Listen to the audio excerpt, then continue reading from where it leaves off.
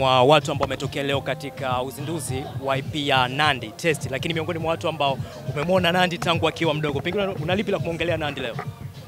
Ah, ni msanii ambaye anajipush mwenyewe, yaani unaona sehemu ambayo ameanzia na sehemu ambayo amesogea. Kwa hiyo ni kitu kizuri, yaani I feel proud kumwona mtu akiendelea kupiga steps. Yeah. Naze mimi ndo mtu wa kwanza kumwona anajiita AR artist and raptor, ndo mtu wa kwanza kumwona kibongo bongo. Imekwaje sasa hivi di- design kama sioni zile shoes za AR kabisa? It's true, ni kweli, lakini si niseme au nikaushe. Ah, ni mipango tu ilikuwa inafanyika. Kuna sehemu ambayo unajua wanasema it's okay ukianza sehemu alafu ukafall alafu ukagundua kosa lako ulilokosea ni wapi and then ukaamka tena. So soon we are coming back like really big, very big. Yes man. Itakuwa ni Born to Shine and AR ama itakuwa ni aina tofauti? Still ni Born to Shine A&R. Yeah man. Tuzungumzie kwenye brand ya Born to Shine, pengine kwa sasa hivi inaelekea wapi na kuna malengo gani kwa mwaka 2022? Born to Shine sasa unazungumzia upande upi? Kwa sababu tuna clothing line, tuna A&R. Clothing line, uh, clothing line tuna okay, unapata exclusive. Kwanza tuna we are coming very big. Umeona jeans nimeivaa? Yo, cameraman, umeona jeans nimevaa? Hii ni Born to Shine. Ubora eh? Okay.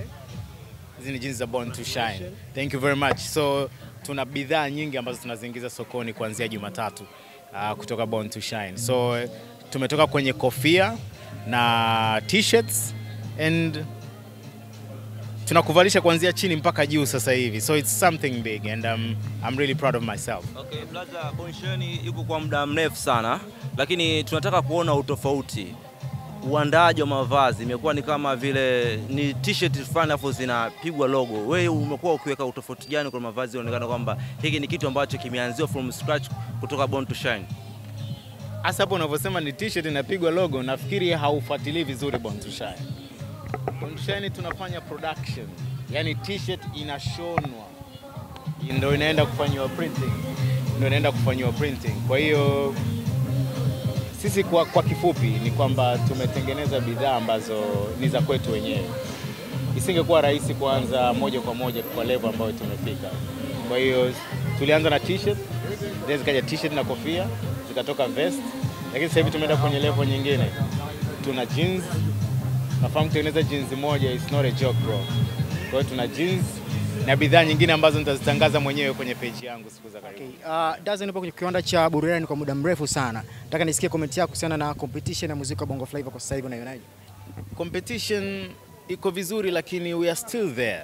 Yani nachukia sana nikiona mtu kama Burna Boy anaendelea kuchukua tuzo za Grammy na BET. Natamani kumwona msanii wa Tanzania akifanya hivyo.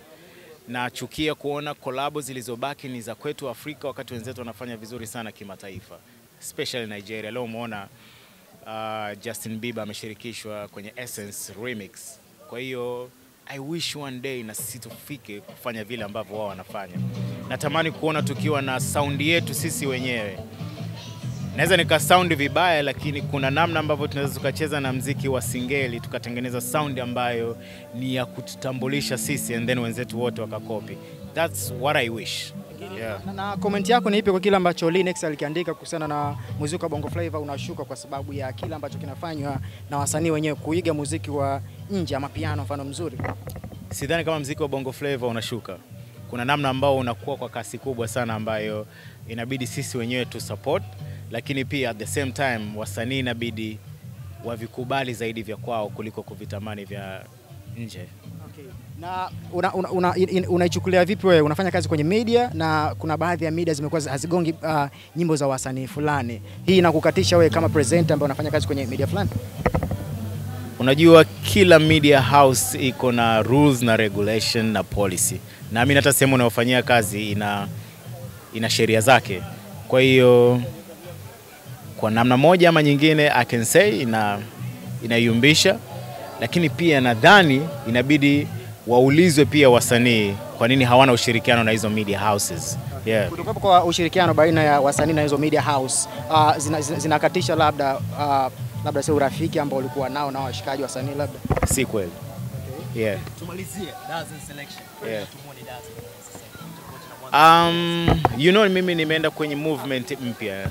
Nilikuwa sehemu moja, sasa hivi ni kwa EFM na TVE, kwa hiyo inabidi vitu vijipange upya.